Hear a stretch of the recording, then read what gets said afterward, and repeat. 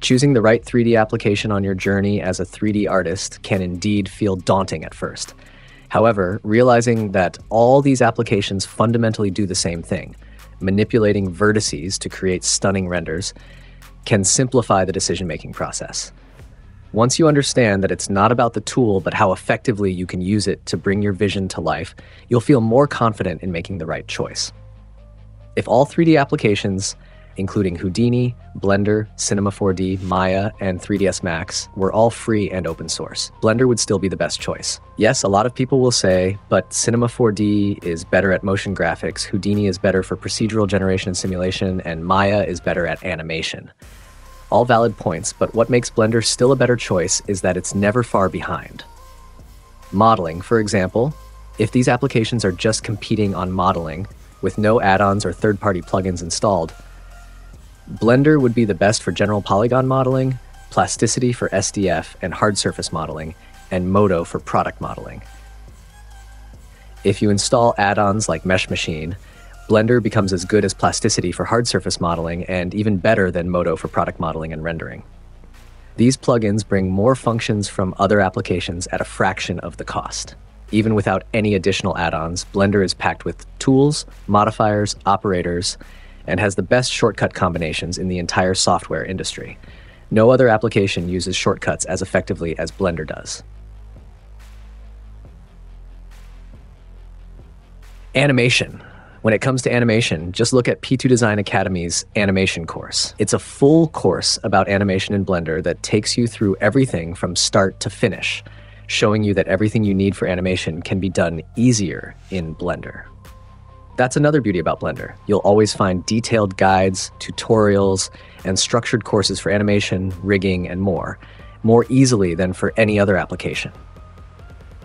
When you look at animations done in Blender versus other applications, there's no way to tell which was made in which software. That's why some studios are already using Blender in certain areas, like the movie Everything Everywhere All at Once. What's amazing is that even when you move away from Blender, the animation skills you learn are applicable to all other applications, including game engines. Texturing. When it comes to texturing, Substance Painter is the top dog, and if all 3D applications were free to use, it would be miles ahead of Blender.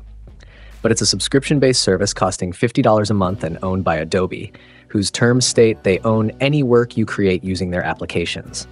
Yikes. Alternatively, you can install add-ons like Extreme PBR Nexus, which offers a collection of PBR textures and tools to help you blend materials or the Sanctus Material Library, which is an ever growing library of procedural materials.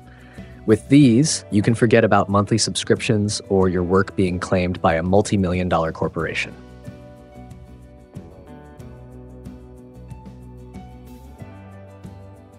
Proceduralism. When it comes to proceduralism, Houdini is undeniably the best. It has been used in countless movies, and what makes it the better application is how everything works together, with everything being created procedurally, from basic model generation to fluid simulations, fire and smoke, RBD simulations, custom velocity fields, and more.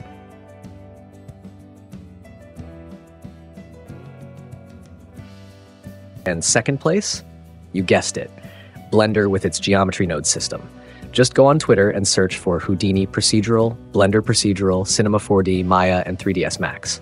The most impressive generators will be from Houdini, then Blender, with a few from Cinema, from Maya, and a handful from 3ds Max. This shows that while Blender may not be the best at every specific task, it's always close to the best.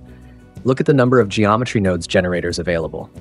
From the cable generator to add detailed wires to objects, this makes it quite easy to add interesting details to your scene, giving your models story, purpose, and functionality.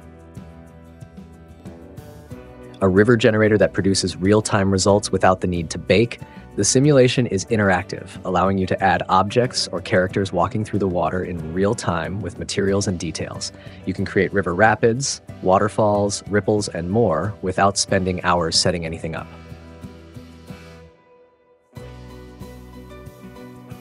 A neon signs generator to make your cities look detailed.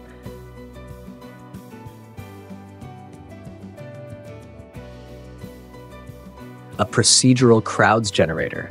The crowd agents are already textured and animated with object avoidance, various crowd behaviors and presets, as well as unique characters and customization options, ensuring that each character is different.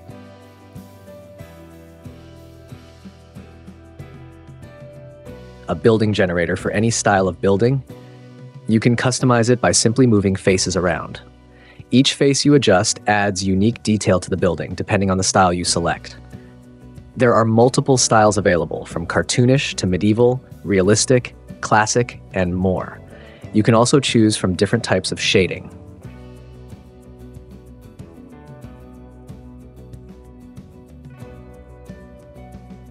All of these are reminders that when working in Blender, you are never alone. Someone out there has already created a tool that will make your life easier. It's this unique community, found nowhere else, that elevates Blender to a level no other software can match. To AAA studios, this might not seem as important, but to individuals and small studios who can't afford multiple licenses for each employee or artist, and who are gambling on a project without knowing if they'll make back their investment, Blender might be the only choice. It's the difference between paying a monthly subscription to create trees from scratch using a standalone generator like SpeedTree, or simply buying a collection of already made trees complete with textures, different species, and wind animations from add-ons like Botaniq. And it doesn't stop there. Say you need a powerful explosion simulation for your movie. Your first choice might be Houdini, followed by Embergen and other applications. But somewhere on that list, Blender will always be there.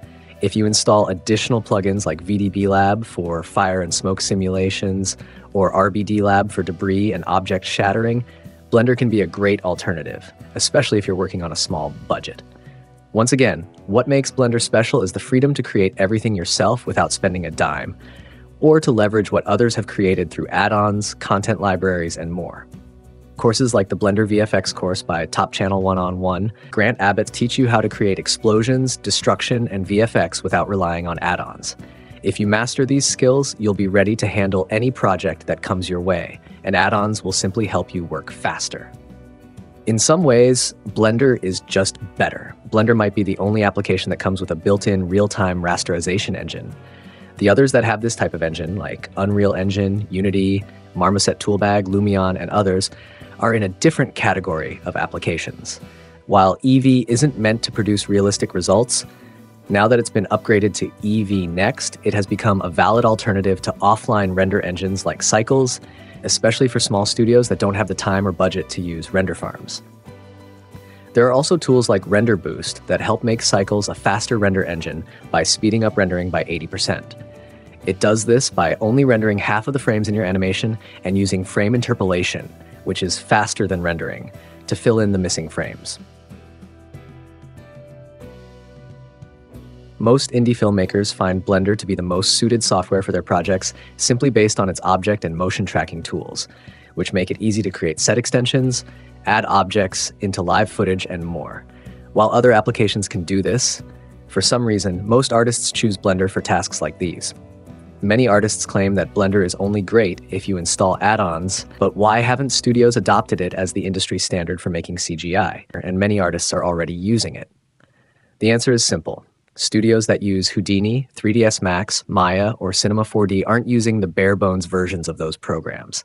They have technical artists who have been developing tools, add-ons, and plugins for their applications for years. If you compared your version of Cinema 4D to what Weta FX uses, it would be unrecognizable. The main reason studios haven't adopted Blender as much as expected is that they've already developed plugins for the software they use. It's the same reason most Blender artists would find it hard to switch to other applications. They've collected hundreds of assets, models, materials, generators, shaders, and more, all tailored to Blender. Switching would mean losing a lot of that. The difference between Blender and other applications, and what makes Blender the better choice, is that everything developed for Blender is accessible to everyone. For other applications, there's tight gatekeeping. You'll never access the tools WetaFX uses for creating creatures, what Pixar uses for their movies, or what DreamWorks uses for rigging in their animations, unless you work for them. There are many more reasons why Blender would still be the best choice for most artists, even if all other applications were free and open source. These are just some of the main ones.